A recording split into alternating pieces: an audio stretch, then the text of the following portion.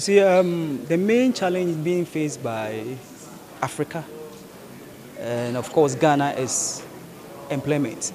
And people are looking at industrialization or looking at other aspects. But we thought it wise that you can also create some form of employment looking at mobile, internet, and technology.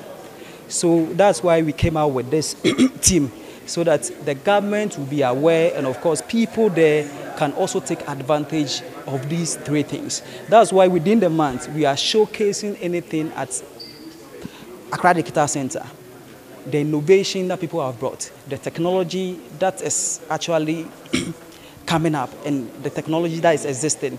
When you get to um, motu, we are talking about people who are into mobile phone, how we can take advantage of you know the accessories, how we can take advantage of you know people who are into infrastructure. Because when you talk about mobile phone, we are talking about people who are into infrastructure, people who are into content and so on and so forth. We are bringing all these people together so that we can achieve our agenda, but not going to only industrialization, but there are other aspects that the government or the people around Ghana can take ad advantage of it. And of course, if you're able to do it and do it well, we can use Africa as a, uh, sorry, Ghana as a hub to connect the other, um, other countries to make sure that, um, you know, unemployment is reduced and of course it will also increase our GDP.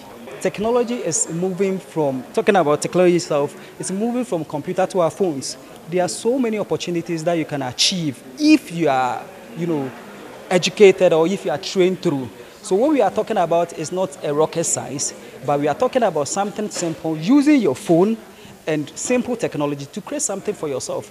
Not looking at um, something negative, but we are looking at how we can you know, take advantage of some of these things.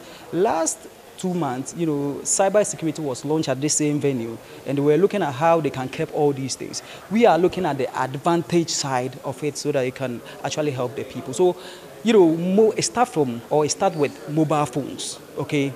People are now getting into having their own Androids, starting something. People are trying to read. And of course, with the initiative of the government, making Ghana more digitalized, I think that we, we, we, are through.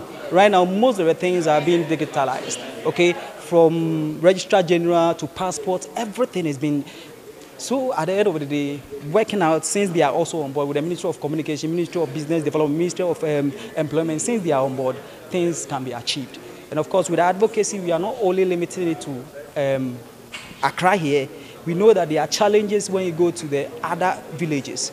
But at the end of the day, since they can access mobile phone, uh, we, can, we, can, we can make it.